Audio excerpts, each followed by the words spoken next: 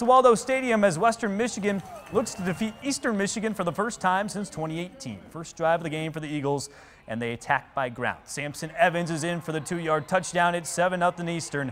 Next drive of the game for Eastern, they attack by air as Taylor Powell finds Dylan Drummond for the two-yard touchdown catch, and he gives Western the John Cena. Can't see me now. Second quarter, Evans rushes in for the one-yard touchdown. A little bit of deja vu here.